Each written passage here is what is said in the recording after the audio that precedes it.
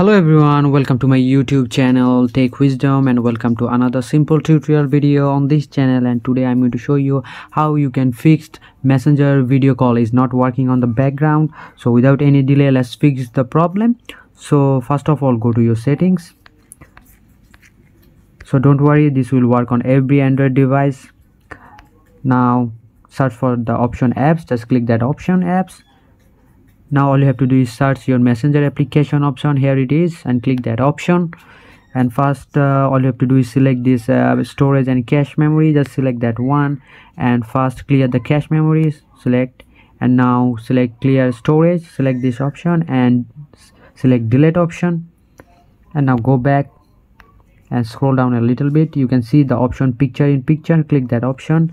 Uh, you have to turn this uh, option on. Just Mm, just uh, allow picture in picture option and and it will fix the problem problem you are facing. So this is the video and i hope this video helps you. If this video helps you consider subscribing to my channel and i will catch you guys on the next one